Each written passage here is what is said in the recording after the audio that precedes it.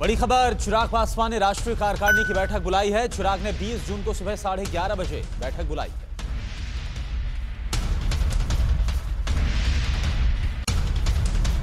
फ़िक्र आपकी, सोमवार से शुक्रवार, रात 9 बजे, सिर्फ़ टीवी 9 भारतवर्ष पर।